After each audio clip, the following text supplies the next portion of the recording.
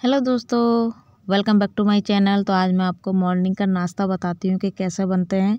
आलू के पकोड़े और मिर्च के परफेक्ट। तो मैंने यहाँ पे ले लिया है बेसन, चार बड़े चम्मच और इसको जो है मैंने छान लिया है अच्छे से। और यहाँ पे फिर ले लिया मैंने आलू। आलू को मैंने अच्छे से छील लिया है और धो लिया है और इस शेप में काटा है मैंने गोल गोल।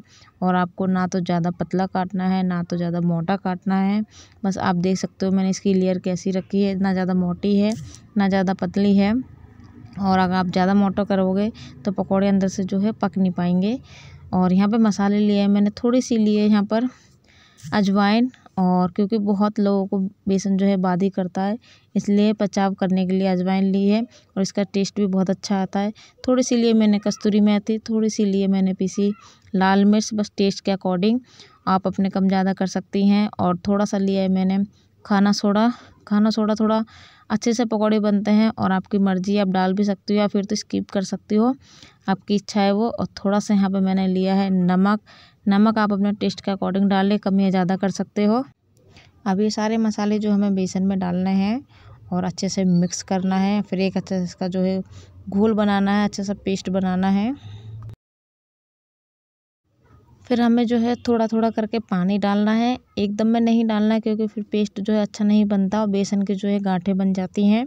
बस थोड़ा थोड़ा करके ही डालें और जब हम थोड़ा थोड़ा करके बेसन डालते हैं तो बहुत अच्छा पेस्ट बनता है और गांठें नहीं बनती, इसकी गुलठी जो होती है वो बिल्कुल नहीं बनती। बहुत लोगों की शिकायतें होती हैं कि हमारे बेसन में जो गांठें पड़ जाती हैं, गुलठियाँ पड़ जाती हैं, वो इसी वजह से पड़ती हैं कि आप इकट्ठा पानी डाल देते हो एक बार में ही।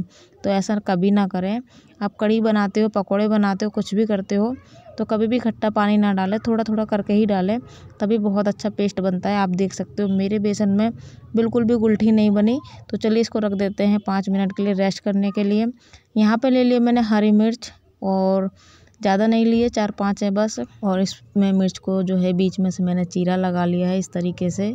और इसमें भरना क्या है वो भी बताती हूँ। बहुत अच्छी लगती हैं मिर्चें, बहुत टेस्टी भी लगती हैं और ये तीखी बिल्कुल नहीं होती।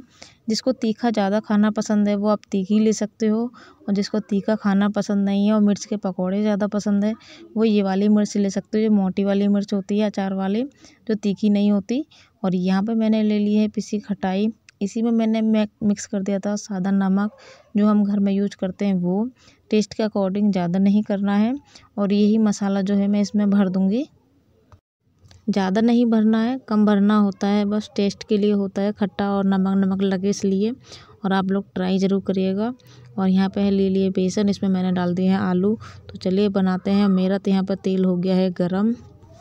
और अगर आपको ये रेसिपी ये वीडियो पसंद आई हो तो प्लीज़ वीडियो को लाइक करना, चैनल को सब्सक्राइब करना, बेल आइकन प्रेस कर देना जिससे जो है आपको नई नई वीडियो मिलती रहेंगी। रेसिपीज़ जो डेली ब्लॉग होते हैं मेरे, वो मिलते रहेंगे आपको।